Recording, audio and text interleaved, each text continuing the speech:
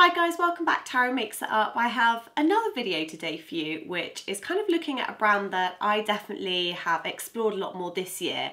Um, I'm talking about NYX makeup and I wanted to do kind of test really overall to see if it's any good and which products kind of fare better than others. And um, yeah, I'm just gonna get straight in because there's quite a lot to get through. So the first thing I have is the Mineral Stick Foundation. Now I really, really wanted to try the HD foundation but didn't have anywhere near my shade in stock. So the Mineral Stick Foundation I've got in MS 04 or light medium.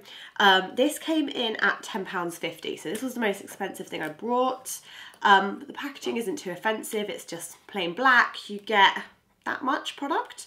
Um, so let's see how we get on with this. Again, this might be, oh no, actually it's quite a good match.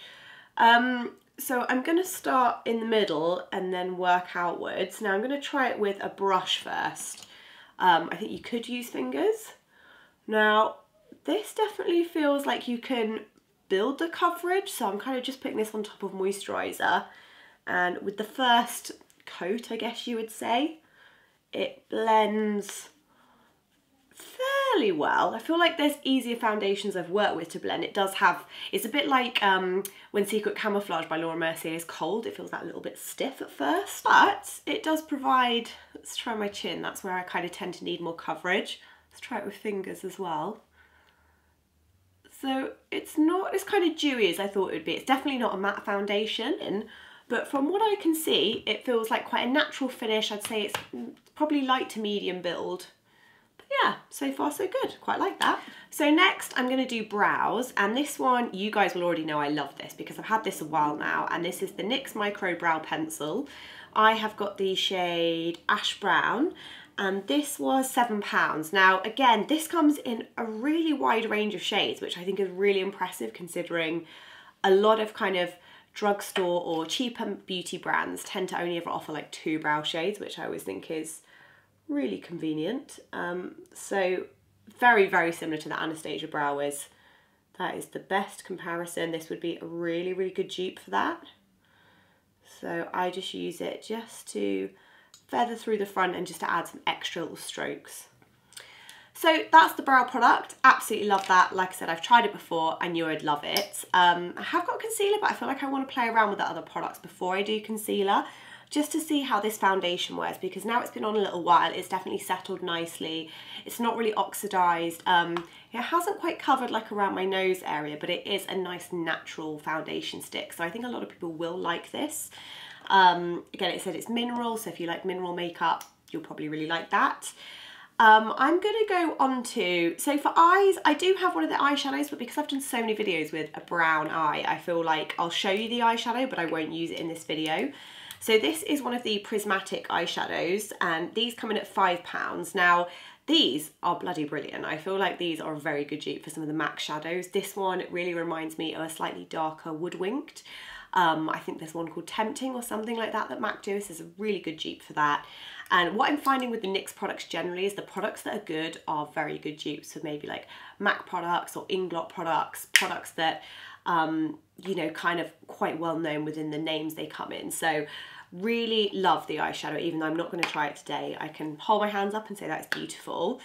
So I feel like today I should do a liner look. That's what I'm tempted to do. And I mentioned these. I think it might have been a July favourites and August favourites, which is the Vivid Bright Liners. Um, but I haven't used one in a video, so I felt like this would be a good chance for me to test them out myself. So I'm going to go with the Vivid Violet. So it's really nice bright purple. And when I tried these on the back of my hand and I've used them like in my Pro Kit, they come out really super matte. So I thought these would be a really fun thing to like experiment with within a video. So let's go in. So very opaque colour straight away. I almost feel like I need to do quite a graphic shape so we can really show the colour off. Um, so it is this really intense opaque colour very quickly, which is good. So I think we should do a classic Harry flick, but in a different colour. So I'm going to go quite big with it. So that's all with like one dip of the brush if you like. So I'm going back in to get more pigment. And it's layering not too bad. Oh yeah, quite good. At first I thought it was going a bit watery, but it's actually not too bad. But wow, that is beautiful colour. Absolutely stunning. And these were five pounds 50, I think. Vivid Brights, yeah, five pounds 50. So again, really, really affordable, guys. Like, I think, you know, it's hard to find these kind of colours um, within like the cheaper brands. So, and it's starting to dry matte now, which leaves a really nice kind of like chalky finish, which I really like. So I've just completed the second eye and there's a couple of things to note after doing the second eye. One is that it is starting to feel cooling, so it's not it's not in any way hurting or uncomfortable, but it has like kind of tightened the skin a little bit, so I can feel it on the lids. Um, the other thing is you might be able to see some of my lashes have kind of like stuck together a little bit with the pigment. Um, so I feel like if before you put mascara on, you might want to just pull that off. Um, I have other eyeliners that do a similar thing, so that doesn't massively bother me, but because it's a very, very wet formula, it does kind of fall into the lashes. However, the way it looks is very, very beautiful and I love the intensity. And I feel before I do mascara, now I need to add some concealer. So the concealer I'm really excited about and I've got high hopes for because this was this was also £5.50 and it's HD concealer and I've got the shade, where does it say the shade names? CW04. Now again, I like the packaging, I like the fact it kind of, it looks like it could be makeup forever and it's with the foot applicator. So it feels nice and creamy. It feels very similar to um, like the Urban Decay uh, Weightless Concealer. But let's see how this blends in. So this might even be a little bit too warm. Oh, I don't know. I think I can get away with it. Um, but wow, that's got some pretty good coverage. That is pretty good. The concealer, I'm glad that's kind of so far. I'm excited by that. So that was just with one. I think I could have had enough still as well on the applicator to kind of probably do the other side of my face as well.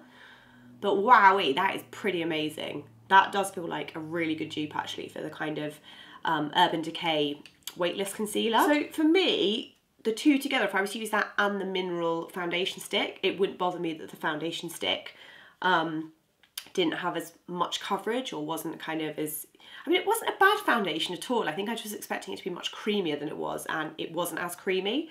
So, but that concealer, that is amazing. Really impressed with that. So mascara, I actually went for, this one is called the Skinny Mascara, which I thought looked really interesting. I feel like with mascaras, again, you kind of, you've got your lengthening and your voluming, but not many cheaper brands do things like this where you have a super, super skinny wand, um, very similar to like the DHC mascaras, great for the bottom lash line. And let's try it on these bottom lashes. It feels really surreal. It's kind of like finding where the edge is. Um, but I think this would be really, really good if you did have, you know, the teeny tiny lashes or not many lashes at all on your bottom lash line because it does just catch every single one and I can go right into the inner corner with this as well. You could almost like tight line with this, I think. Yeah, I'm to try it. Oh, wow, that's really cool. You can literally use it to like tight line almost. Very similar to the principle of what the new Hourglass um, mascara one thing does. So I'm literally, I'm actually almost like pressing it into my tight line to give myself like a tight line effect at the same time.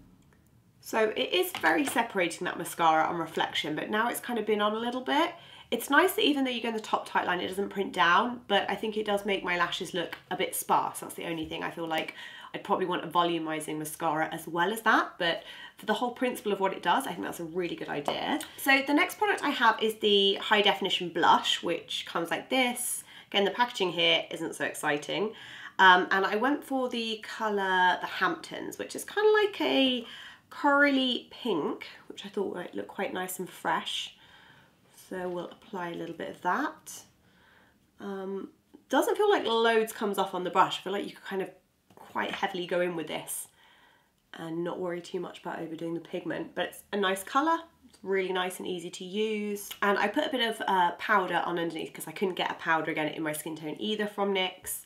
Um, but yeah, that blush is really pretty. That gives a nice bit of life to the face, a bit of freshness. Now for lips, I do have one of the lip butters, which is in a really gorgeous colour. This one is, I think it's called Licorice, um, which is a really, really pretty colour. But I feel like I want to go with a liquid lipstick because I just think these are one of my favourite things at the minute and these are one of my favourites videos. It's the NYX Liquid Suede and this one is in Lost Cherry. So I put a bit of lip balm on earlier. I think it's pretty much rubbed off now. Um, so I'm kind of doing an eye and a lip look, but I think it's just a good way to show you more of the products and test them out. So let's go in with this amazing red. So I like to kind of just print my lips together first and the fact the applicator is really long I think can go in your favour because it means you can kind of like pull it around the lip and get a lot of lip covered in one go. So that's the lipstick. It does feel quite drying because it's a liquid lipstick, but I still really, really like that. I feel like that colour is very much like a high-end colour. It feels intense, it feels rich. Um, I love the way it looks on the lip. I think as well with dark colours, I know when Bourjois first brought out their Velvet Edition um, liquid lipsticks, the dark colours never had the same um, payoff as the lighter colours. And what I will say with this being a dark colour, it definitely gives you the colour you want it to give and it's opaque all the way through. So I really like that. I feel like got a slight Sula going on. Let's just powder that in a little bit. I feel like you can get precision with the brush. I feel like it gives you space to build the intensity. Um, it's quite a nice teeth whitening colour, which is nice. Okay, the colours you might not necessarily put together with the eye and the lip, but just to give you an idea of the products and how they work. Um, the liner, I'm really interested to see how well that wears. For me, the standout products have to be the HD concealer. I think that is a fantastic dupe for the um, Urban Decay Weightless Coverage Concealer and I imagine the Too Faced Born This Way concealer as well. Um, really like the packaging, really like the simplicity, like the doe foot applicator, really like the colour on me and generally I'm really impressed. I think NYX is incredibly affordable for the quality they produce so um, it definitely gets a thumbs up from me. So let me know which your favourite piece was. So please like this video if you do like this series and you're enjoying it. I'd love it if you guys subscribe and I'll see you soon with more videos. Thanks very much guys, bye!